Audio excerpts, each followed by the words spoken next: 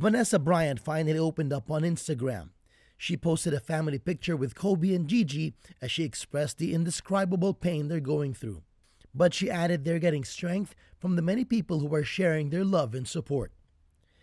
Vanessa admitted that they still don't know how to move forward, but are comforted by the thought that Kobe and Gianna will be shining their light from up above. Meanwhile, the LA Lakers are slowly trying to get back to their normal routine as they went back to practice on Wednesday, three days after the tragedy that took the life of Bryant.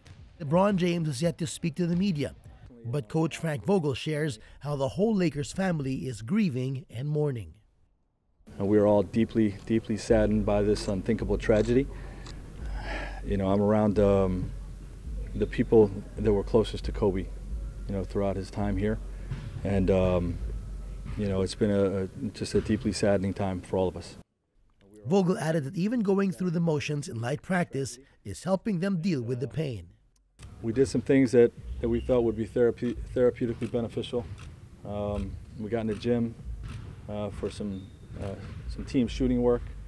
Uh, no real practice uh, working on anything in particular. I wanted our guys to come in mentally free, but to get a sweat, touch the ball, to, to, be around each other, and then um, and then we had a lunch, you know, where we all um, you know just spend time together and grieve together. ABS-CBN News got to speak to the grand aunt of Christina Mauser, the Fil-Am assistant coach of Kobe Bryant in his Mamba Sports Academy that also died in the helicopter crash. According to Gloria Omania, Christina truly loved her job with Kobe's team. She was doing what she loved to do. She was proud to have been handpicked by Kobe. She was doing this full time for over a year and traveling with him to on that helicopter mm-hmm. to uh, tournaments in the area.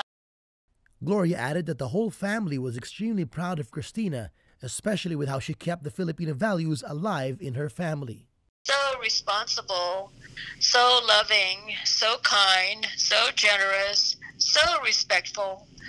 Um, you know, uh, uh the, the, the Filipino culture of respect, that's just so prime primary in how we are all raised. And she had that instilled in her.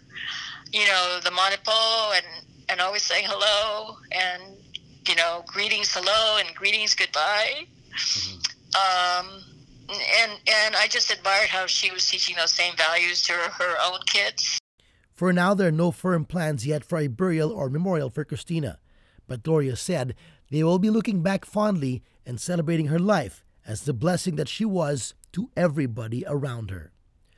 TJ Manotok, ABS-CBN News.